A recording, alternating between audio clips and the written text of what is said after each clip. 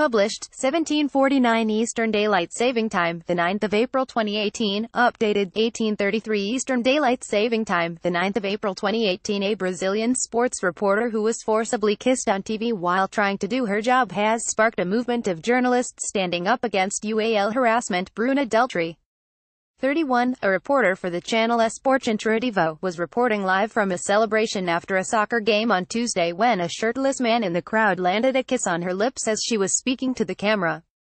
The journalist reacted in the moment by shrieking in shock, but quickly regained her composure, saying to the camera, that wasn't cool.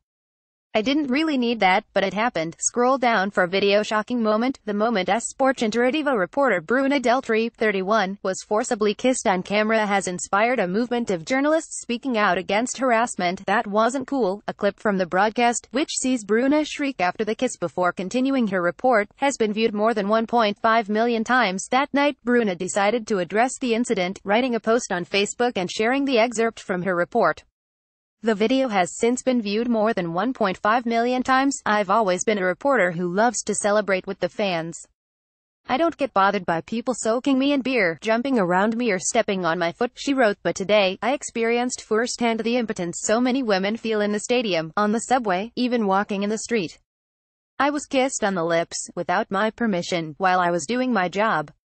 I didn't know how to react and couldn't understand how someone could think they have the right to act that way. She added that it was clear by the man's behavior that her job and the work she had put into doing it meant nothing to him. Taking her stand after the incident, Bruna took to Facebook to talk about what happened, saying, I deserve to be respected joining in. Bruna's peers were inspired by her experience to come together and produce a video spreading the message of with the certainty that head held high we will win the respect we deserve and that the citizen who wanted to appear as who should be ashamed of what he did, she concluded with, I'm a soccer reporter. I woman, and I deserve to be respected. Her words garnered an immediate response, particularly from her female peers in the industry, 52 of whom joined together in a WhatsApp group after bonding over Bruna's post.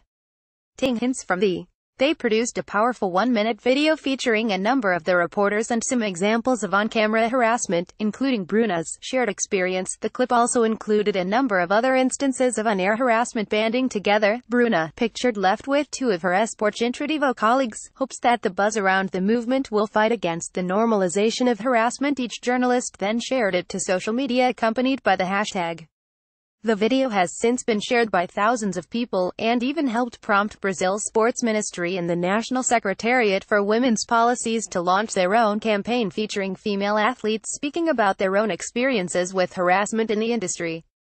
Speaking to CNN, Bruna expressed appreciation for her fellow reporters and hopes that the video and the movement will help fight against such harassment being normalized. I think my experience caused an impact because it happened live, on camera and in the context of soccer, she said.